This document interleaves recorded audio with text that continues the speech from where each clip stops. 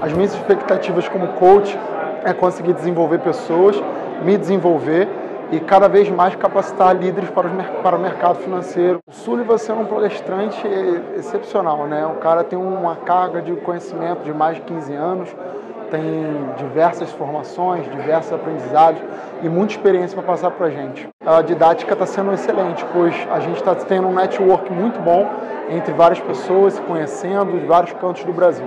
Eles estão me acompanhando, estão me ajudando, é, eles têm aplicativos, o networking pela internet é excelente, muito bom.